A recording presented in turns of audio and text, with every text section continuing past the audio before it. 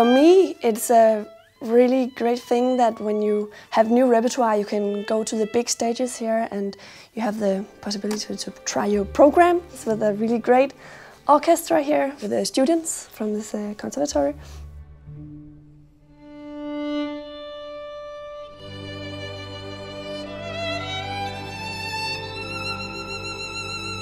There's a connection between the strings department and we can play on the violin concerts and they can play in the cello concerts.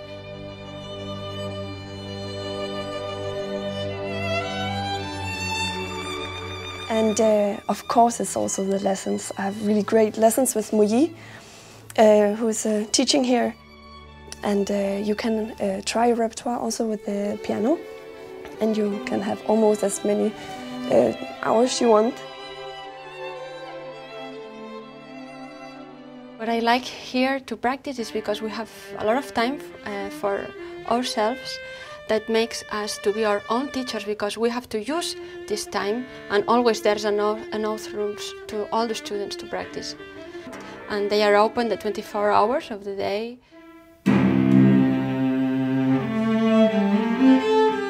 On the masterclass I can learn new things and new point of views and new uh, ways of work. We had master classes with Andreas Brantelid and Ursula Smith, and the level was so high and it was so professional master class.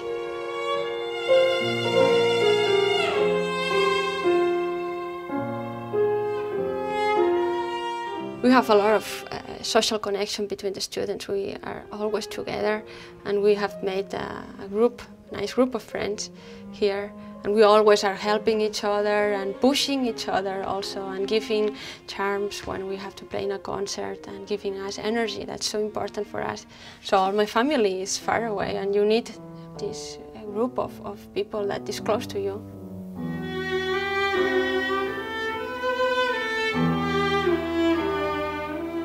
Aarhus is a really nice city and you have the forest close to here, you have the sea, you have the river, and the people is so nice and polite.